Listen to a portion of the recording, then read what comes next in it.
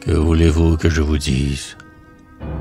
Cela vous coûterait bien peu de délaisser enfin l'Église et de vous rapprocher de Dieu. Vous écrasez les grandes choses sous un niveau matériel, sans baisser les yeux vers les roses, sans les élever jusqu'au ciel. Vous inventez des saintes vierges, tout en marchant dans l'impudeur. Vous portez à la main des cierges, et la nuit noire au fond du cœur. Si vous le vouliez bien, mes frères, ancrés dans la félicité, vous abdiqueriez vos colères pour la simple fraternité. L'humanité, blanche et nouvelle, dresserait un front triomphant.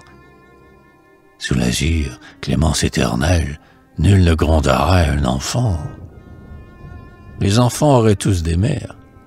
Ils pourraient se chérir entre eux, sans se mêler à des misères, ternir le ciel de leurs yeux. Les enfants feraient leur murmure, comme les oiseaux et les vents. La mystérieuse nature serait comprise des vivants. Je vous le dis, moi, je vous aime, frère. Je voudrais vous voir tous debout dans un amour suprême.